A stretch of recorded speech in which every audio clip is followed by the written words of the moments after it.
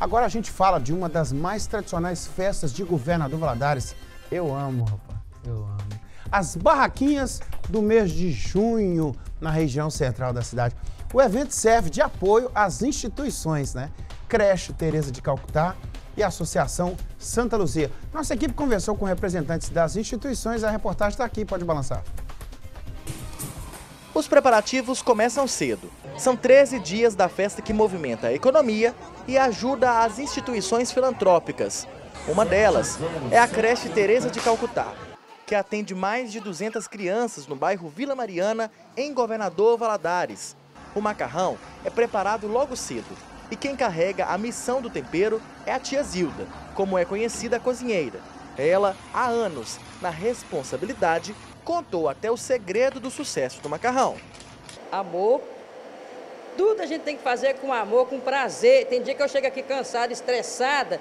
Na hora que eu ligo o fogão, que eu escuto esse barulho, ah, eu até arrepio. Eu falo, ah, que delícia. Eu fico doido para escutar esse barulho logo. Eu gosto, tenho o maior prazer em cozinhar macarrão.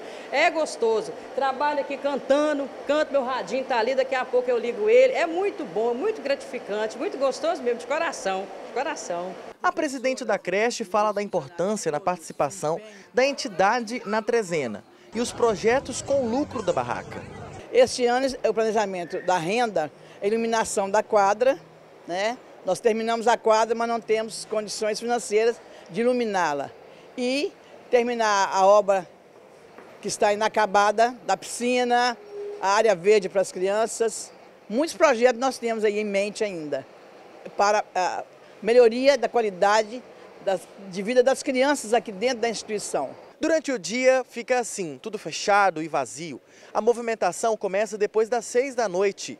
Todos vêm aproveitar a boa comida e também ajudar as instituições. Todo ano a gente espera imensamente a trezena de Santo Antônio, né, que são 13 dias maravilhosos, de muito trabalho, dedicação.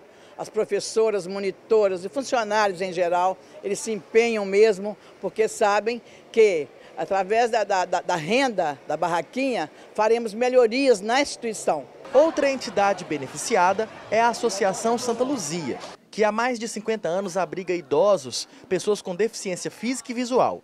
A associação vive de doação e o lucro da barraca vem para ajudar nas despesas. Todo o fundo né, que vem, o lucro que vem da barraquinha de pastel, ele completa as despesas da casa, né? Custeio de algum insumo que esteja faltando, né? Igual agora no momento a gente está faltando o café, então né, precisa desse, dessa renda para custear o café.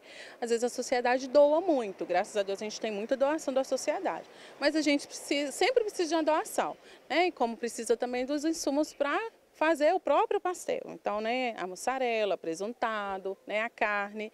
Então, às vezes que o insumo a gente precisa comprar, então, para fazer esse pastel. Então, toda a despesa que vem, esse lucro é muito bom. A pergunta que não quer calar. O que, que vocês vão pagar para mim nas barraquinhas? Macarrão na chapa, ô diretor. Hã? Olha o Gabigol, feijão. É caldo de feijão? Torta Brastemp. Eu não gosto de negócio doce, não, Pantera. Milho cozido, qualquer coisa. Pastel. Amo, amo.